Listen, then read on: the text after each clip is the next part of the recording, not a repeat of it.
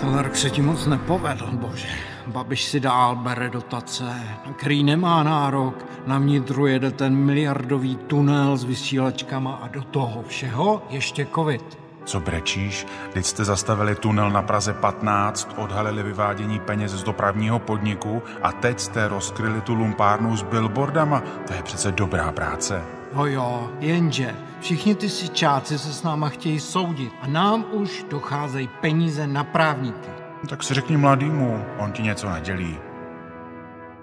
Staňte se prosím naším Ježíškem, přispějte alespoň malým darem.